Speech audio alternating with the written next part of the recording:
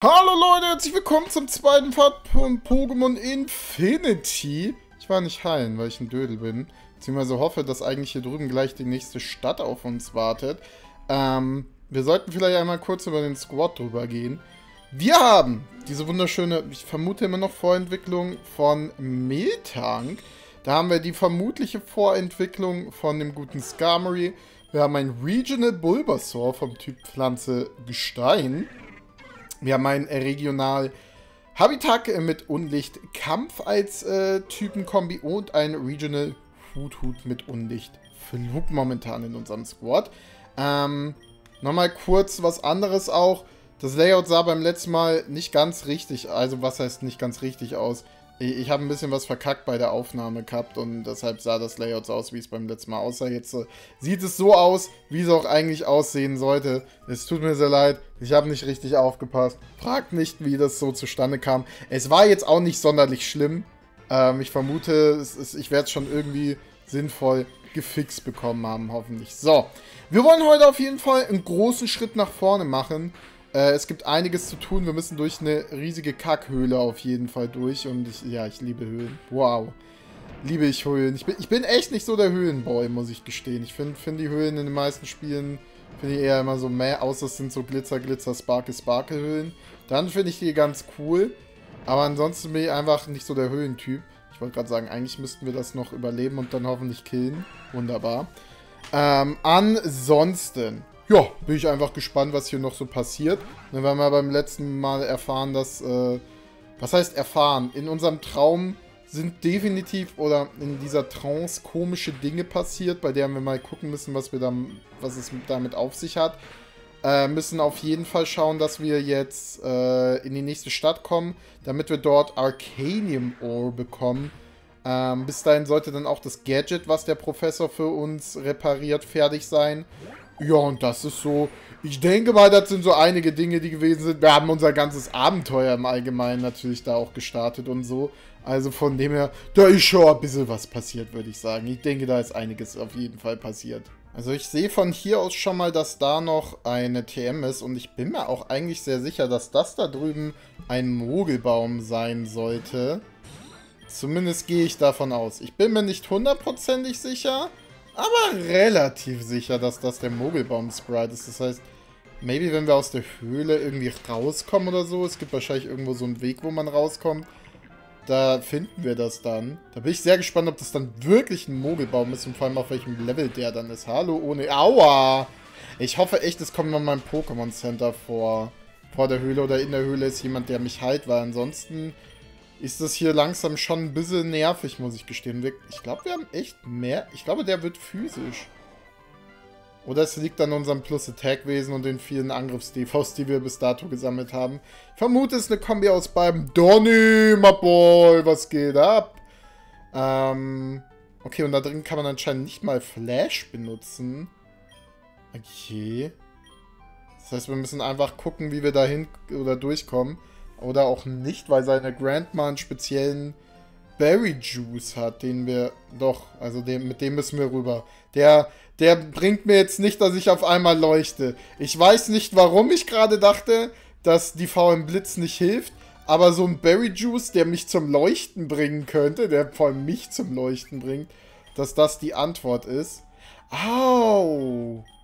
Das ist der Trickmaster, das ist das Trickhouse. Oh, das ist sehr nice, dass, das, äh, hier, dass es das hier auch gibt. Das ist ja mega cool. Und hier liegen sogar ein paar Items rum. Ja, die nehme ich sehr gern mit. Und sind dann hier auch wieder so Schriftrollen oder... Ah, nein, so Schalter. Und Trainer, okay. Das heißt, ich vermute, wenn ich... Ich weiß nicht, ob wir nur einen Schalter brauchen. Ich würde eher mal guessen, wir brauchen mehr als einen Schalter. Wenn wir dann genug von denen gedrückt haben, Gibt's, I guess, irgendwie was? Mal gucken. Okay, wenn man zwei Schalter drückt, erscheint hier in der Mitte eine Truhe mit zwei Full Heals, drei Soda Pops und einem PP Up. Ja, sage ich nicht nein. Kann man auch ein bisschen was sicher von verkaufen, weil ich kann euch schon mal sagen, wir werden im späteren Spielverlauf Geld noch ein bisschen was brauchen. Mit späterem Spielverlauf meine ich ziemlich sicher noch in diesem Part. Na gut, dann ab in die Höhle die aber, um ehrlich zu sein, gar nicht mal so dunkel ist. Also das hält sich, um ehrlich zu sein, echt voll in Grenzen. Mit Schutz könnten wir uns natürlich vor den ganzen Mons hier schützen. Ich überlege aber, da wir ein paar Level brauchen, ob ich einfach hier ein bisschen was mit Bisasam an die Wand jeweils klatschen werde, weil sowas wie Geodude zu besiegen, sollte jetzt nicht das Problem werden eben. Ähm, es scheint auch so, als würde es hier mehrere Wege geben. Okay, und es bleibt alles aber so in diesem dunklen Ton. Da ist ein Fleeknäuel, das einfach rumfliegt. Okay. Ich muss auch mir erstmal ein bisschen Orientierung hier wieder verschaffen, weil ich habe, um ehrlich zu sein, gar keine Ahnung, wo wir grob hin müssen. Äh, was wir alles holen müssen, aber das kriegen wir in Struggle-Bug. Oh, das ist eine sehr interessante Themen, muss ich sagen. Da ist schon wieder ein Höhlenausgang. Warum denn jetzt schon ein Höhlenausgang? Aber okay. Auf welchem Level sind denn die Trainer hier drin? Dunsburst Level 9. Okay, das ist jetzt erstmal nicht ganz gigantisch hoch. Ich hätte auch sehr gerne Dunsburst, damit wir Shelder maybe traden können, denn ich muss gestehen, ich habe aufgrund eines Vorschaubildes gesehen, dass äh, Shelder auf jeden Fall hier eine Regionalform hat.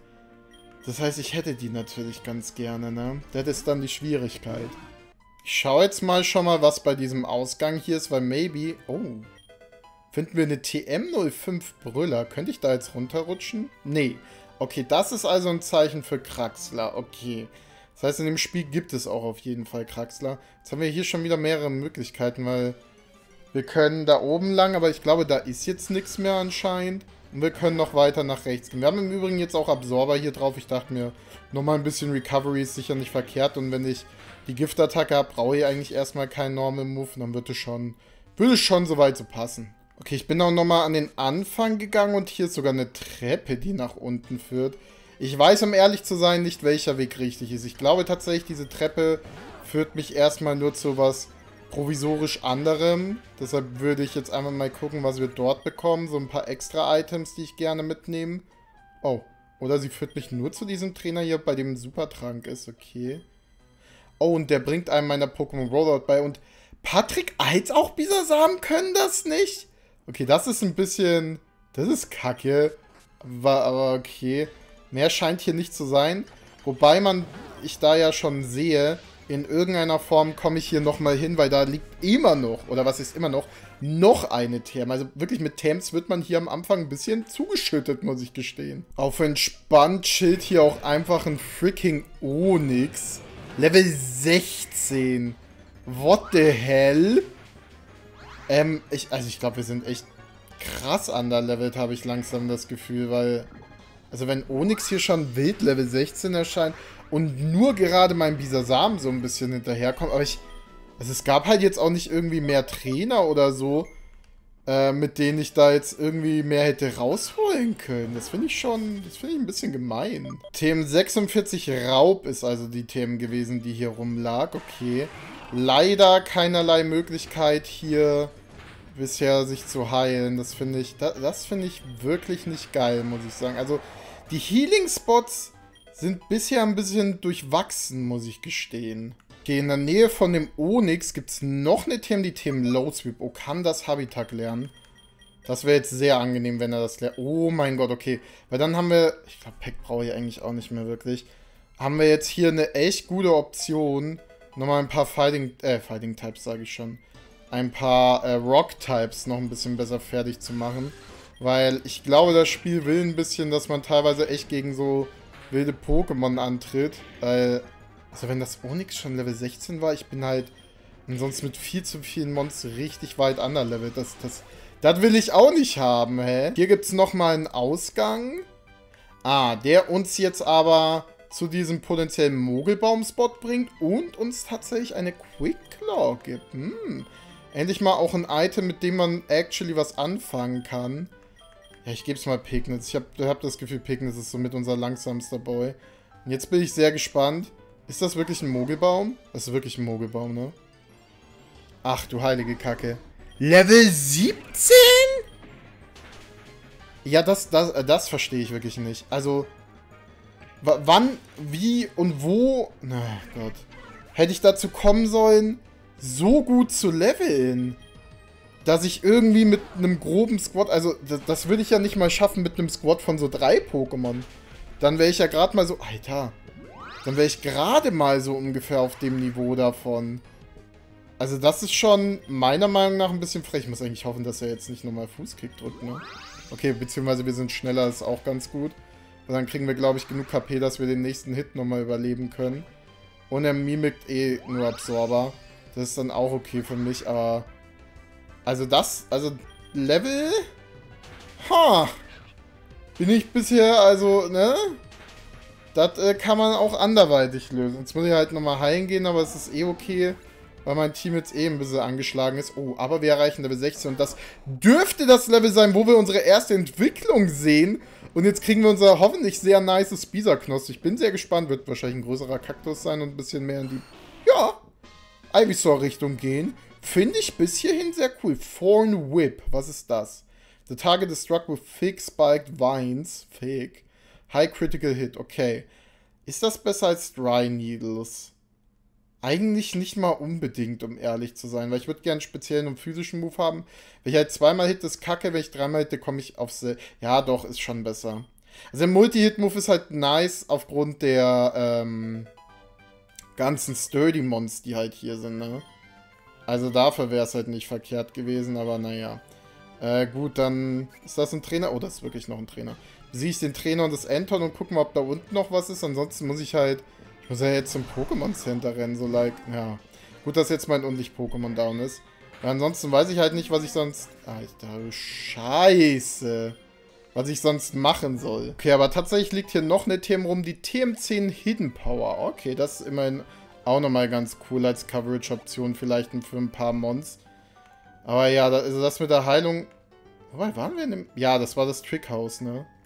Da war halt ein PC und ich könnte alles... Ich könnte einmal alles auf den PC legen, ne? Bro, ich habe einfach schon wieder eine TM-Verhöhner. Also ich, ich liebe ja TMs, aber die Pace, in der man die bekommt, die macht mir langsam Angst. Weil ich weiß nicht, ob das jetzt einfach heißt, dass das Spiel furchtbar schwierig wird. Oder warum, warum ich das in so einer krass schnellen Pace alles bekomme. Boah, und Onyx geht mir ein bisschen auf die Nerven, ne? Weil der so viel an der Stelle aushält. Einfach nicht witzig mit dem Gesellen hier, ne? Ist einfach nicht witzig gerade. Also auch allgemein, die Trainer, der hat jetzt einmal Level 14. Das ist halt auch schon wieder super hoch gelevelt. Also ich weiß halt auch nicht wann oder wie ich auf das Level kommen sollte, ohne wirklich aktiv zu grinden, ne? Also es geht halt auch nicht. Guck mal, die wilden Monster einmal Level 14. Ich bin mir nicht sicher, ob die sich mir anpassen. Ich glaube nicht. Also sonst würden die das, glaube ich, oder müssten die es außerhalb dieser Höhle ja auch machen. Und da machen sie es ja nicht. Also ich weiß ja nicht. Und die anderen weiß ich noch gar nicht, wie ich die gut nachziehen soll. Das ist eine hübsche, süße kleine Brücke. Aber bis dato sieht das alles noch äh, sehr ähnlich aus. Also, dass das jetzt, äh, ne? Sich hier nicht so viel verändert in der Höhle. Ab, wobei jetzt immer mehr Kristalle oder was das hier sind. Maybe ist das dieses Arcanium Ore. Aber das bezweifle ich fast. Also irg irgendeine Art von Kristall ist es auf jeden Fall. Hier ist auch so eine komische, brüchige Wand. Ah, und da kann man vielleicht mit Schaufler rein? Aber da stand irgendwas von The Right Gear. Also maybe ist es das, was der Professor repariert. Und dann kann man hier nochmal rein und entweder die Höhle ist noch größer, als sie es jetzt eh schon ist. Ich bin schon circa eine halbe Stunde hier drin. Oder es ist halt wie, wie in Gen 4 der Forscher sagt. Das ist auch nochmal eine Möglichkeit. Boah, ich war gerade nochmal heilen, aber ich glaube, jetzt sind wir genau draußen. Oh mein Gott, das hat sich gar nicht mehr gelohnt, nochmal zu gehen. Naja, schade. Wir sind, es ist aber inzwischen sogar Nacht geworden. Ähm, das ist okay. Oh. Und der sagt uns hier direkt auch was wegen dem, äh, Arcanium müsste es gehießen haben. Ich glaube, ich habe davor irgendwie Aurorium gesagt. Und da ist Gerald einer der Ego Council Members. Okay. Und wenn wir den besiegen, dann kriegen wir das größte Stück, was gefunden wurde. Das ist krass. Ja, das hätte ich eigentlich ganz gerne, aber hey, ist okay. Und Lucy ist einfach hierher geflogen. Die hätte mich ja nicht mitnehmen können oder so, ne? Nein, nein, nein, nein, nein, nein. Das ist unmöglich, ne? Das ist unmöglich. Ähm, ich glaube, die erzählt mir hier an der Stelle nicht wirklich was Interessantes. Außer... Oh, außer, dass wir jetzt auch die TM-Fliegen bekommen. Das ist nice. Ah, und wenn wir den Orden von ihm haben, dann dürfen wir auch Fliegen außerhalb des Kampfes benutzen. Okay. Das heißt, wir müssen den in irgendeiner Form besiegen. Aber dann müssen wir natürlich erstmal den besiegen. Da dürfen wir nicht rein. Und die labert irgendwas von der Palkia-Geschichte, hat sie gesagt. Tatsache, ja. Ähm, bei dem Palkia seine kosmischen Power oder seine kosmischen Kräfte benutzt hat, um Giratina ähm, wegzusperren. Manche sagen auch, dass Dialga da irgendwie mit zu tun hatte, aber das ist denen wurscht. Das juckt ihn nicht. Gut zu wissen. Was ist das da? Das ist ein Tempel. Es scheint momentan irgendwie alles zu zu sein aufgrund des Festivals. Wir kriegen einen Clean Stack, okay. Ich glaube, hier ist so ein Brunnen. Ah, und da können wir Geld reinwerfen. Na gut. Ich glaube, ich, ich muss mal nachgucken, ob wir irgendwie was... Jo. Okay, die Statue sieht mies geil aus, vor allem wie das Auge leuchtet. What the fuck? Auf jeden Fall sieht das so aus, als würden wir hier erstmal nicht mehr weiterkommen. Okay. Ähm, äh, das, das, das Auge vom Pike hier leuchtet, finde ich sehr, sehr cool, muss ich sagen. Aber wir kommen hier anscheinend jetzt erstmal nicht so wirklich weit. Ich vermute, wir müssen mit dem Typen sprechen. Ich würde es aber gerne eigentlich ein bisschen hinauszögern, muss ich sagen. Hier können wir uns Items kaufen. Stardust können wir kaufen. Das lohnt sich doch gar nicht, oder? Und da haben wir auch das, ähm, das Eis. Das würde uns um 35 KP sogar heilen. Warte mal, wir können ja mal ein bisschen was verkaufen. Wir haben, glaube ich, inzwischen was. Wir haben dreimal... Ein Stardust bringt 1000 und wir könnten einen für freaking äh, viel zu viel Geld kaufen. Also für 2000. Fürs Doppelte können wir den kaufen. Das, das ergibt doch gar keinen... Okay, ich glaube, es ist wirklich alles zu, ne? Gar keinen Sinn. Jo, das sieht wild aus. Was ist das? Es ist auch zu. Okay. Und hier gibt es aber wenigstens ein Charcoal. Okay. Aber immerhin ist hier ein bisschen was. Das ist einfach ein Palim-Palim. What? Auf welchem Level ist das Teil schon wieder? 15. Ich weiß nicht, ob ich nicht hier irgendwie eine Level-Session einlegen muss, weil, also... Also wenn ich jetzt gegen den Trainer, also gegen den Arena-Leiter in Anführungsstrichen kämpfen muss direkt, ich habe ja gar keine Chance, wenn der ein bisschen höher gelevelt ist. Like mit welchem Pokémon? Wir haben zwei Level 16 und Spiro hat gefühlt keine Def, der kippt an allem um. Also, ähm, ja, ne? Vielleicht level ich hier irgendwie ganz kurz. Ich weiß halt nicht, auf welchem Level die Monster sind, dass wir wenigstens irgendwie alles auf 16 oder so haben. Aber es gab halt wirklich nicht mehr Trainer. Also ich habe das Gefühl, ich habe irgendeine riesige Passage verpasst, aber es kann nicht sein. Level 16? Was? Okay, das ist krank. Das ist wirklich krank. W wann hätte ich denn auf das Level kommen sollen, hä? Okay, ich habe jetzt nicht wirklich viel gelevelt, bin ich ehrlich, Freunde. Wir, wir sprechen einfach mal mit ihm. Mich, mich würde es eigentlich wundern, wenn wir jetzt gegen ihn kämpfen müssen. Weil, äh, ja, wir sind nicht in der Arena. Er sagt auf jeden Fall, er hat äh, uns noch nie getroffen, obwohl er eigentlich jeden auf dieser Insel kennt. Ähm, aber okay, schön dich zu treffen. Ähm, er ist einer der ältesten Members oder äh, Teilnehmer, nicht Teilnehmer, Mitglieder des Ego Councils. Und der ist einfach nur hier, um quasi das Ende des Chorus Festivals sich anzugucken. Ähm, der ist eigentlich in Echo Rock äh, aufgewachsen. Und er geht halt jedes Jahr auf dieses Festival. Das ist aber süß für ihn. Okay, und wir sollen anscheinend, wenn wir dann in Echo sind, dort gegen ihn kämpfen. Okay, okay, okay, okay. So, und wir sollen dann einfach weitergehen. Ja, aber gut, was soll ich dann jetzt machen? Weil... Also, hä? Hier gibt es ja sonst nichts, was ich machen kann. Weil er hat ja nur gesagt, ich, ich soll es beim nächsten Mal machen. Da tanzen welche. Die, die spielt Flöte, die sieht noch ein bisschen außergewöhnlich aus. Und spielt irgendeine andere Musik. Aber das check ich auch. Nee, das war die Palkia-Story. Was ist das hier eigentlich? Move Relearner and Ego. Warte, was? Achso, nein, das ist nur das Allgemeine. Okay, wir sollen erst noch mit irgendwelchen Freunden reden und dann können wir irgendwie gegen den antreten, oder wie? Müssen wir doch gegen den antreten? Ich glaube, mit dem haben wir noch nicht geredet, ne? Und von dem kriegen wir anscheinend dieses Ar Arcanium. Wir müssen diesen alten Mann da unten... Oh nein. Wir müssen ihn jetzt wirklich besiegen? Ich hoffe wirklich, dass der jetzt nicht irgendwie krank gelevelt ist, ne? Ich, wir probieren es jetzt einfach mal, ne? Weil was anderes als das machen kann ich eh nicht. Moment, wir wollen jetzt hier keinen Speed. Da ist Ego Elder Geralt. Mit dem Scheidungslevel 15. Ich sag mal, wenn es auf Level 15, 16 oder nur 15 bleibt, ist noch okay.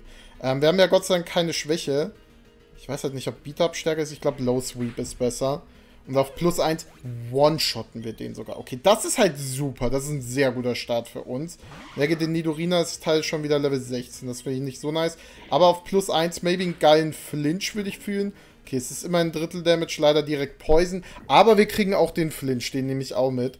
Ich habe echt Angst und dann wird das letzte Mal vermutlich Level 17 sein. Wir kriegen Crit und noch einen Flinch, Freunde. Flizinchen gönnt. Okay, er geht auf den Supertrank. Das ist aber okay für mich. Bin ich ehrlich, wenn er einen Supertrank hat und den hier gleich verbraten will, das ist, das ist vollkommen, das, das nehme ich in Kauf. Maybe, wenn jetzt kein Doppelkick kommt, könnten wir... Oh mein Gott, wir kriegen noch einen Flinch. Der Flizinchen flincht sich ja einfach komplett durch, ne? Was eine Maschine. Was eine Maschine ist dieses Habitat denn bitte? Wohlverdientes Level-Up. Pursuit brauchst du nicht, meiner Meinung nach. Kriegen nochmal ein bisschen Poison Damage. Und was ist das letzte Mon? Ein Firo, okay. Warum Level... Warum denn jetzt auf einmal von 16 auf 20? Hey, ich check die Level Spikes hier nicht. Oh mein Gott, wir machen den Fury Attack Dodge. Okay, Init Drop könnte unfassbar wichtig auf dem da werden. Vielleicht kriegen wir jetzt nämlich noch einen Hit raus. Ich gehe nochmal zur Sicherheit auf Low Sweep, dass alles danach den killen kann. Wir kriegen noch einen Crit. Flitzinchen reißt hier gerade alles an sich, ne? Ich glaube, ohne Flitzinchen wäre dieser Kampf auch gar nicht erst möglich. So, jetzt ist die Frage, wen schicken wir als nächstes rein?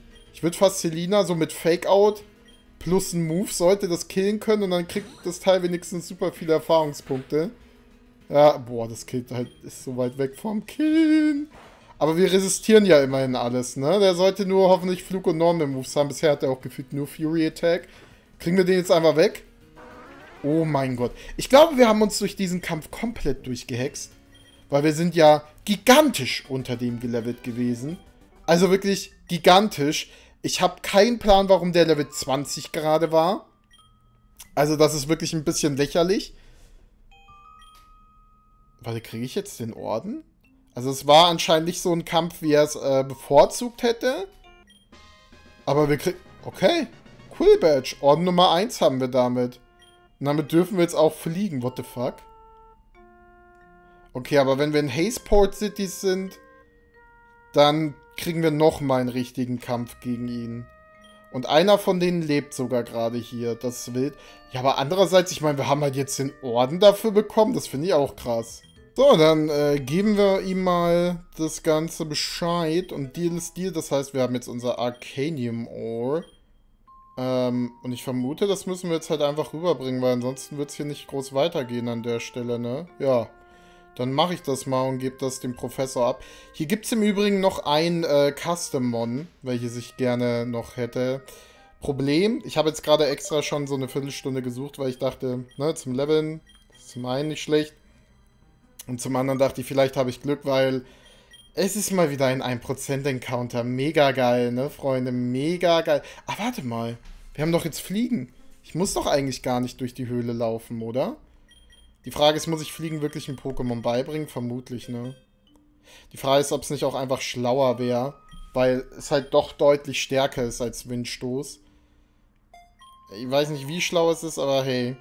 Ich weiß auch nicht, ob ich es dem beibringen muss. Ich meine, es war eine TM. Ich glaube, ich kann die dem wieder verlernen. Das ist halt die Frage, wo kann ich mich... Ich kann mich nur zu Stone Dust Peak schießen. Aber ich glaube, es ist trotzdem kürzer, als. Oh ja, es ist bei weitem kürzer. Ich muss hier ihm nur das hier geben. Ja, easy. Und ja, das sind, äh... Oh, er hat gute und schlechte Nachrichten. Dann fangen wir mit den schlechten an. Okay, und er braucht anscheinend noch ein bisschen mehr Zeit. Das ist aber in Ordnung, weil dann wird es sicher in der anderen Stadt irgendwie losgehen. Ja, es wird auf jeden Fall mehr Zeit kosten. Ähm... Und was ist die gute Nachricht? Ah, wir sollen einem Typen, der bei der Safari-Zone arbeitet, einen Brief übergeben. Das ist die gute Nachricht. Okay. Dass er da jetzt nicht hinkommen wird. Na gut. Und da sollen wir von Rock Town in den Süden gehen. Ja, das kriegen wir, denke ich, hin. Das kriegen wir hin. Da machen wir, machen wir jetzt nicht so einen Kopf. Achso, das waren noch gar nicht die guten Nachrichten. Ah, der hat aber anscheinend... Ähm, der XP-Router, was ist... Oh mein Gott, was ist das? Ah, damit kriegen alle meine Pokémon... Ah, das ist so ein OP... Der OP-EP-Teiler ist das. Oh Gott sei Dank. Ist aber krass, dass wir das erst jetzt bekommen, ne? Also den ersten Orden zu bekommen, ohne zu den, finde ich, der ist Level 20. Ah, okay, am PC könnten wir den ausmachen. Ich wollte gerade sagen, wenn man den nicht abstellen kann, ist das aber schon ein bisschen kacke. Oh, aber dann habe ich jetzt gar keinen Stress, meine anderen Mons auch zu leveln. Boah, das ist eine sehr gute Sache, dass sie das eingebaut haben, ne? Weil ansonsten wäre ja mega kacke, wäre das nicht dabei gewesen. Aber anscheinend war das jetzt noch nicht die Antwort. Weil irgendwie geht es jetzt immer noch nicht weiter. Warum? Ah, ich habe einfach nur die zwei Städte vertauscht. Wir müssen wieder an die Anfangsstadt gehen. Oh.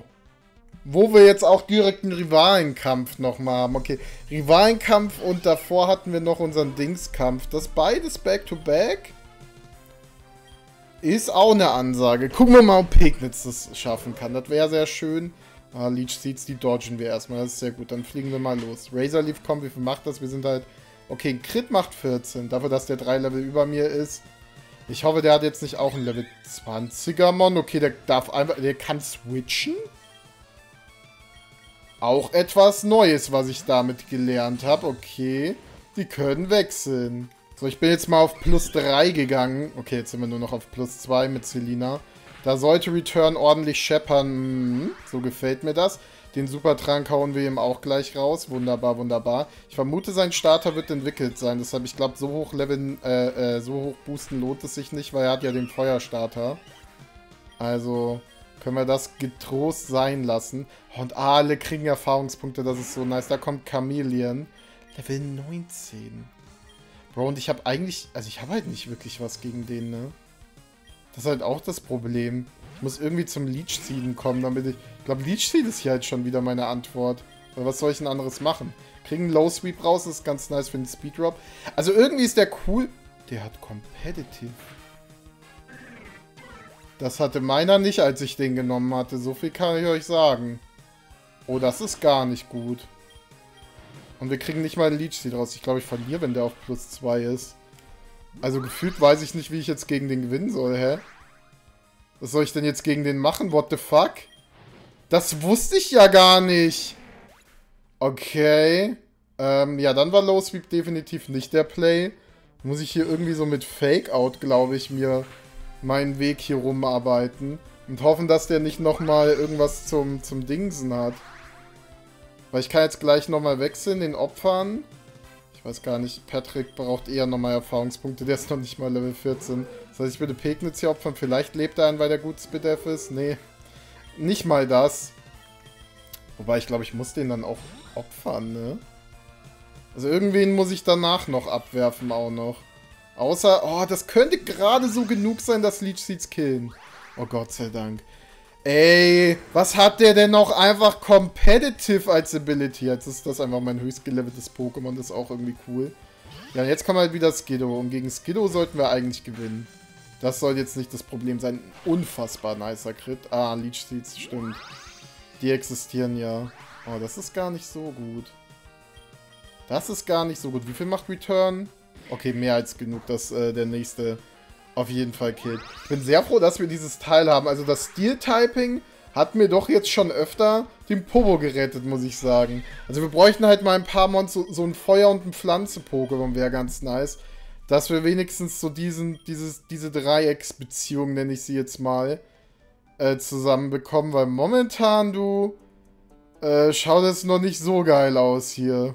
Dann schauen wir uns mal ein bisschen auf dieser Farm hier um, was es dort so Hübsches gibt. Erstmal ist hier eine nice Limonade, die nehme ich gerne. Ach, da darf ich gar nicht rein. Oh, ich dachte, das wäre so Gras, wo ich was fangen kann. Aber offenkundig ist es das nicht. Das ist alles so riesiges Heu, das ich noch nicht verschieben kann. Ha, schade eigentlich. Aber respektieren wir. Da könnten wir nochmal mit einem Stärkestein was machen. Hier wäre auf jeden Fall Gras. Da schaue ich dann noch gleich rein, ob wir noch irgendwas Nices fangen können. Aber erstmal gibt es hier wieder ein bisschen Trainerkämpfe, vor allem Level 13. Das ist sehr schön, weil das heißt, ich kann die vielleicht sogar besiegen. Das, das wäre ganz nett, dass ich auch mal meine anderen Mons wieder benutzen kann. Das finde ich Finde ich doch äußerst sympathisch, muss ich sagen. Okay, vergesst alles, was ich gesagt habe. Hier ist ein Pokémon auf Level 18. Auf Level freaking 18! Bro, ich habe einfach nur bisher die Regionalformen gefangen, die es hier gibt. Und Und nur mit denen spiele ich gerade. Und, und nehme alle Trainer mit. Also ich muss eigentlich irgendwas verpasst haben, habe ich das Gefühl. Aber ich wüsste nicht was. Ich meine, wir kriegen wenigstens richtig gute Erfahrungspunkte. Wobei da jetzt auch, das ist wieder Level 13 wie das erste Mon. Also ich, die Levelkurve finde ich hier, Rockthrow, okay, nehmen wir gerne mit. Finde ich bis hierhin sehr, sehr weird, muss ich sagen. Also die finde ich, finde ich jetzt nicht so geil, weil ich habe nicht das Gefühl, Laudred gegen Haunter, oh, ich wette, der hat einen Ewigstein. Man kriegt doch hier niemals an der Stelle einfach Gengar geschenkt. Das glaube ich euch nicht, Freunde. Aber erstmal nehmen wir die ganzen nicen Beeren hier mit. Könnte man sogar anpflanzen, vermutlich, und dann durch den Schlaf würden oder müssten eigentlich relativ viele hier so rauswachsen, oder? Wäre jetzt zumindest mein Guess, dass das eigentlich gehen müsste, sollte. Äh, nein, Repel brauchen wir nicht. Und der könnte Helping Hand beibringen. Naja.